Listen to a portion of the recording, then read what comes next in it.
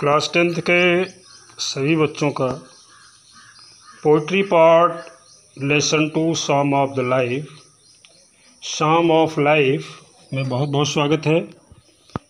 आइए बच्चों, देखते हैं पोइट्री पार्ट, लेसन टू, जिसका शीर्षक है शाम ऑफ़ लाइफ जिसको हिंदी में हम कहते हैं जीवन का स्तुति गान। अब यह जानना होगा जीवन का स्तुति गान किस प्रकार के जीवन का गान होता है। इसके राइटर हैं एच डब्ल्यू लॉन्ग फेलो क्योंकि एग्ज़ाम में आपको पूछ, पूछा जाता है who is the writer of this poem इस तरह से क्वेश्चन आता है, इसलिए आप राइटर का नाम और स्पेलिंग भी लेसन का आप अच्छी तरह से सीखेंगे। एच डब्ल्यू लॉन्ग फेलो जिनका जन्म हुआ था अठारह सौ सात और मृत्यु हुई अठारह सौ बयासी ईस्वी में। इनका पूरा नाम थोड़ा देख लीजिए। The full name of Longfellow was Henry Wadsworth Longfellow इनका पूरा नाम था। He was an American poet वह अमेरिका के कवि थे। He was very famous in the world वह संसार में बहुत प्रसिद्ध थे। आइए देखते हैं। Central idea of the poem इसको दो लाइन देखना बहुत ज़रूरी है। यहाँ से देखते हैं सेकंड पैराग्राफ को। यहाँ राइटर कहता है life is not an empty dream जीवन मात्र एक स्वप्न नहीं है। फिर है क्या life life is real life यथार्थ है। It is serious reality it is a serious reality वास्तव में क्या कहता है राइटर यह गंभीर है। यानी जीवन एक गंभीर विषय है। Death is not its ultimate object for soul is immortal.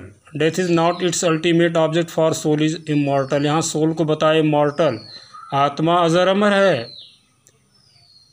Death किसकी है निश्चित? शरीर की निश्चित है। आगे कहता है सारो और जो इज़ नॉट इट्स पीरियडिंड वे और एम इसका एम केवल दुख अथवा सुख उठाना नहीं है। यानी जीवन का जो एम है वो सारों और जो है नहीं प्राप्त करना है अर्थात दुख और सुख नहीं प्राप्त करना है, बल्कि कुछ और है, क्या है? Our main duty is in life is to work hard हमारे जीवन का जो मेन ड्यूटी है, मुख्य कर्तव्य है, क्या है? वर्क हार्ड कठिन श्रम करना है। And progress day by day और दिन प्रतिदिन प्रोग्रेस करना है, अर्थात विकास करना है। In this short and temporary camp of life ये एक कैंप है। जीवन का पड़ाव है, ये शॉर्ट और टेम्प्रोरी है। कब जीवन गुजर जाए, हाथ से कुछ भरोसा नहीं है टेम्प्रोरी है। We should face the circum circumstances of life as hero circumstances माने परिस्थितियों का। फेस मतलब सामना। हीरो माने नायक की तरह। हमें परिस्थितियों का सामना नायक की भांत करना चाहिए। जैसे आप लोग पिक्चर देखते हैं तो पिक्चर में नायक क्या करता है? सारी कठिनाइयों का सामना करते हुए अंत में विजय को प्राप्त करता है। उसी प्रकार से हमें भी अपने जीवन में अनेकानेक जो भी प्रॉब्लम्स क्रिएट होती हैं, जो भी समस्याएँ आती हैं, उनको डट करके मुकाबला करना चाहिए, सामना करना चाहिए। And not be driven this way और that way by them like helpless cattle helpless cattle मतलब असहाय कैटिल माने पशु जानवर की भांति हमको ड्राइव इन नहीं करना चाहिए। मतलब पलायन नहीं करना चाहिए। हमें अपने जीवन से इधर उधर एक हेल्पलेस कैटिल की तरह, असहाय जानवर की तरह भागना नहीं चाहिए। कुछ लोग घबरा जाते हैं। ज़रा सा भी दुख आता एकदम घबरा जाते हैं और ज़रा सा खुशी मिलती है तो आनंद से झूमने झूमने लगते हैं। फिर भूल जाते हैं कि दुनिया में सुख के स्थान पर दुख भी मिल सकता है। तो ऐसा नहीं करना चाहिए। आगे देखिए we should give up idleness यहाँ लाइन दिया आइडियलनेस मतलब आलसपन। हमें आलसपन का त्याग कर देना चाहिए एंड स्टार्ट वर्किंग हार्ड और कठिन श्रम करना चाहिए टू अचीव सक्सेस सक्सेस माने सफलता अचीव माने प्राप्त करना। सफलता प्राप्त करने के लिए आफ्टर सक्सेस माने एक के बाद। यानी एक के सफलता के बाद दूसरी सफलता को अचीव करने के लिए हमें कठिन श्रम करना चाहिए और आइडियलनेस का, आलस का त्याग कर देना चाहिए। We should learn a labour hard and wait for the result we should learn to labour हमें केवल क्या सीखना है? We should learn to labour केवल लेबर करना, श्रम करना हमें सीखना चाहिए and wait for the result और परिणाम का इंतज़ार करना चाहिए। जैसे श्रीमद् भागवत में लिखा है कर्मणे वाजकार रस्ते माँ फलेश पदाचनो। कर्म करते रहिए, फल की इच्छा मत करिए। ऐसी भावना के साथ अपने आलस का त्याग करके, अपने जीवन पथ पर एक सफलता के बाद दूसरी सफलता के लिए हमें कठिन श्रम करना चाहिए, तभी जीवन का स्तुत गान होगा। साम ऑफ़ द लाइफ लेसन का नाम है, जिसका अर्थ होता है जीवन का स्तुत गान। और ऐसे ही जीवन का स्तुत गान करते हैं लोग, जिनका जीवन कुछ करके, बेहतर करके इस देश के लिए, समाज के लिए, बेहतर करने के लिए होता है, उन्हीं का स्तुत गान होता है। तो देखने का प्रयास करते हैं। First stanza life is real real का तात्पर्य क्या होता है? एक्चुअल यथार्थ। यानी जीवन क्या है? यथार्थ है। सही है। ऐसा मत मान लिए कि जीवन सही नहीं है, यथार्थ नहीं है। यथार्थ आप देख रहे हैं अपने जीवन में क्या क्या कुछ होने वाला है। लाइफ इज़ अर्नेस्ट अर्नेस्ट का तात्पर्य होता गंभीर और सच्ची। सिंसियर जिसे कहते हैं, जीवन यथार्थ है, जीवन गंभीर सत्य है। यानी जीवन एक सत्य सत्य है और जीवन यथार्थ है। And the grave is not its goal the grave is not its goal का अर्थ होता है the aim of life is not only to enjoy its pleasures and die but something else यानी कहने का तात्पर्य है, जीवन का लक्ष्य, उद्देश्य केवल आनंद लेना और मर जाना नहीं है, अपित कुछ और भी है। ग्रेव मतलब कब्र होता है, लेकिन यहाँ मृत्यु को प्राप्त करने के अर्थ में है। यानी जीवन यथार्थ है life is real life is earnest जीवन गंभीर है and the grave is not its goal और जीवन का लक्ष्य केवल सुख उठाते हुए, आनंद प्राप्त करते हुए मृत्यु को प्राप्त कर जाना ही नहीं है। कि कुछ लोग कहते हैं ऋणम कृत्वा घृतम पिबे तो ऋण करो, कर्ज करो, घी पी करके, आनंद मना करके मर जाओ। ऐसा नहीं होना चाहिए। आगे दिया dust thou art, dust thou art thou art का तात्पर्य, दाऊ मतलब तुम होता है, और आर्ट का तात्पर्य आर से, यानी तुम हो। क्या हो? Dust thou art to dust returnest. Dust माने धूल होता है, रिटनेस्ट माने लौट जाना। यहाँ कहने क्या तात्पर्य है? मिट्टी से इंसान पैदा होता है। और कहाँ मिलता है? मिट्टी में जाकर मिल जाता है। तो यहाँ कहने का मतलब फिर से देख लीजिए, जीवन सत्य है, जीवन गंभीर है। जीवन का लक्ष्य सुख उठाते हुए, अर्थात आनंद पूर्वक बिताते हुए मृत्यु को प्राप्त करना नहीं है। तुम मिट्टी के पुतले हो। यानी वी आर, सबकी बात कर रहा है। तुम मिट्टी के पुतले और मरकर तुम्हें मिट्टी में ही मिल जाना है। Is not spoken of the soul. Soul माने आत्मा, स्पोकन माने कहा गया है। ऐसा शरीर के बारे में कहा गया है, आत्मा के बारे में नहीं कहा गया है। यानी शरीर मिट्टी की बनी, मिट्टी मिल जाएगी, लेकिन आत्मा तो अजर अमर है। यह सदैव सनातन है, न यह पैदा होती है, न कभी मरती है। तो बच्चों अर्थ कैसे लिखेंगे, अर्थ को कैसे समझेंगे, ज़रा फिर से देखिए। जीवन वास्तविक है life is real life is earnest जीवन एक गंभीर विषय है। And the grave is not its goal जीवन का उद्देश्य केवल आनंद लेना और मर जाना ही नहीं है। परंतु इसका उद्देश्य कुछ और है क्या? Dust thou art to dust returnest यहाँ डस्ट दाऊ आर्ट मतलब मिट्टी के बने हो और रिटनेस मान लौट जाना, मिल जाना। तुम मिट्टी के बने पुतले और मिट्टी में ही मिल जाना है। यह शरीर के लिए कहा गया है। इसको जोड़ना पड़ेगा आपको, क्योंकि एज उसके लिए कोई वर्ड नहीं आया है। लेकिन यहाँ लास्ट लाइन क्लियर करता है। Is not spoken of the soul लेकिन आत्मा के बारे में ऐसा नहीं कहा गया है। अर्थात मिट्टी के तुम पुतले हो, मिट्टी मिल जाना यह बात शरीर के लिए है, लेकिन आत्मा के लिए नहीं है। Second four, first four line finish होती है आपकी सेकंड फोर लाइन देखिए आप लोग। Not enjoyment and not sorrow not enjoyment and not sorrow enjoyment माने आनंद सारो माने ग्रीफ दुख, पीड़ा। Not enjoyment and not sorrow is our destined end or way destined end or way का तात्पर्य क्या होता है? जीवन का पूर्व निर्धारित लक्ष्य अथवा उद्देश्य। जीवन का पूर्व निर्धारित लक्ष्य अथवा उद्देश्य।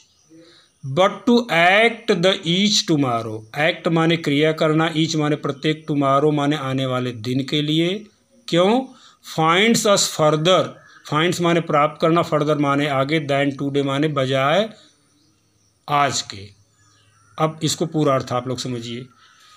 जीवन का यह पूर्व निर्धारित लक्ष्य या उद्देश्य नहीं है। दूसरी लाइन से is our destined end or way जीवन का पूर्व निर्धारित लक्ष्य अथवा उद्देश्य यह नहीं है, क्या है? नॉट इन्जॉयमेंट एंड नॉट सारो अब इसको पूरा देखें, समझ में आएगा कि हम आनंद उठाएँ और कष्ट सहन करें, मर जाएँ।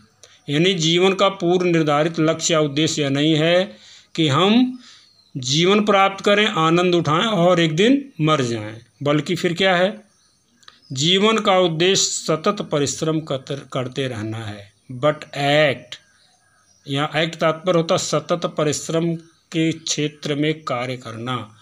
But to act the each tomorrow प्रत्येक आने वाले दिन के लिए, यानी प्रत्येक आने वाले समय के लिए हमें क्या करना है? कठिन श्रम करना है। यानी जीवन का पूर्व निर्धारित लक्ष्य उद्देश्य, आनंद उठाना कष्ट सहन और मर जाना नहीं, बल्कि आने वाले प्रत्येक समय के लिए परिश्रम करते रहना है। क्यों? हमें सतत प्रगति करता, करते रहना चाहिए। तीसरी लाइन में in the world's broad field of battle. In the world's broad of battle, in the bivouac of life, be not like dumb driven cattle. Be a hero in the strife देखिए। But to act the each tomorrow but the act each tomorrow यानी प्रत्येक आने वाले दिन के लिए मुझे क्रिया करना चाहिए। फाइंड फर्दर दैन टूडे मतलब इससे बेहतर जीवन के लिए। अब आगे देखते हैं। In the world's broad field of battle in the world's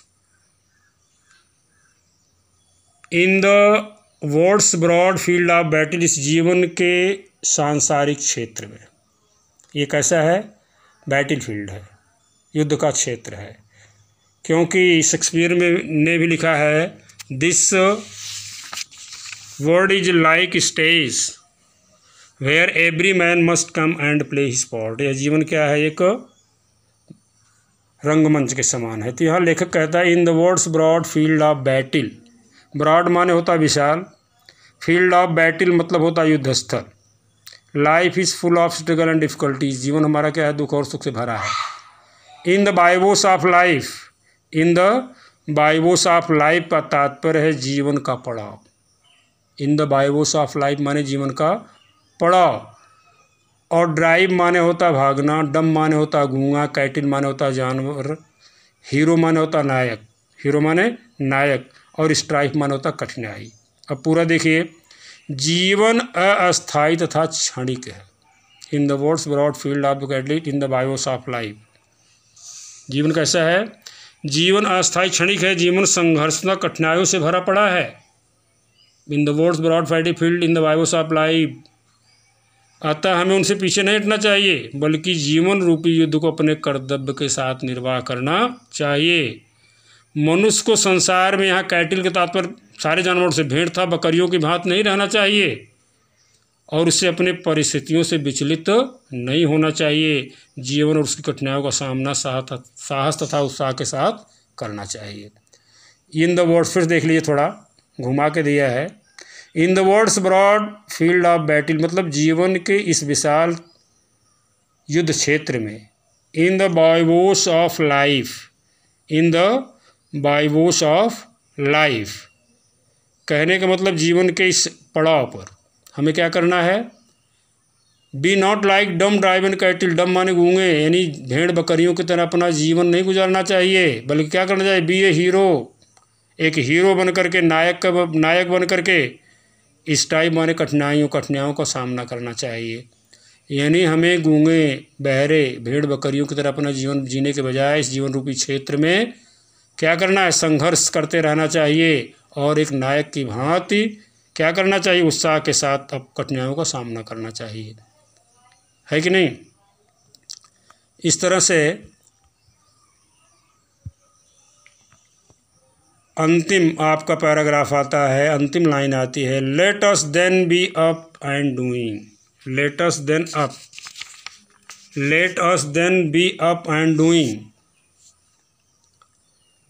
with a heart for any fate, still achieving, still pursuing, learn to labor and to wait.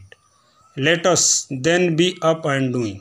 देखिए बी अप एंड डूइंग का तात्पर्य होता है लंगर बाँध कर लड़के लड़ते रहने की तैयारी के बाद यहाँ युद्ध क्षेत्र में एक नायक की बात कहा ना बी अप एंड डूइंग का तात्पर्य है लंगर बाँध कर लड़ने के लिए तैयार होना चाहिए यानी जीवन के इस युद्ध क्षेत्र में अगर हम आए हैं तो जैसे एक सिपाही लंगर बाँध करके, तंबू बाँध करके सीमा पे डटा रहता है, तैयार रहता है with heart of any fate with heart of any fate with heart मतलब होता है दृढ़तापूर्वक मतलब पूरे मन से, पूरे दिल से, पूरे दिमाग से दृढ़तापूर्वक।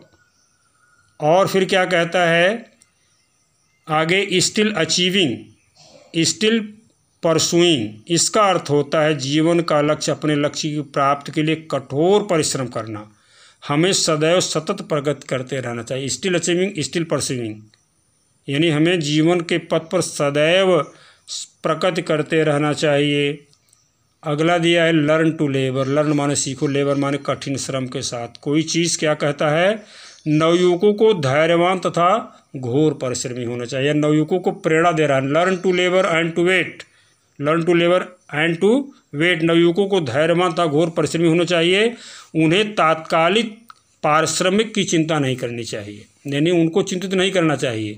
चिंतित नहीं रहना चाहिए। किनको? नवयुवकों को प्रेरित करते हुए कभी कहता है इसमें।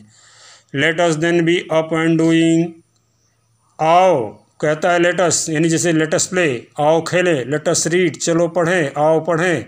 लेटस मूव फॉरवर्ड चलो आगे बढ़ें। तो यहाँ लेटस का तत्पर आप पढ़े होंगे लेट का प्रयोग। Let us then be up and doing आओ हम लंगर बाँध कर हर परिस्थिति का दृढ़तापूर्वक सामना करने के लिए खड़े हो जाएँ। यहाँ प्रेरणा दे रहा है। Let us then be up and doing आओ हम पूरे भारत के नवयुवक लंगर बाँध करके हर परिस्थिति का दृढ़तापूर्वक सामना करने के लिए खड़े हो जाएँ। कैसे? With a heart for any fate जीवन का लक्ष्य कठोर परिश्रम तो लक्ष्य की प्राप्ति है। हे नवयुकों कहता है, हे नवयुकों तुम्हें धैर्यवान तथा घोर परिश्रमी होना चाहिए। धन्यवाद।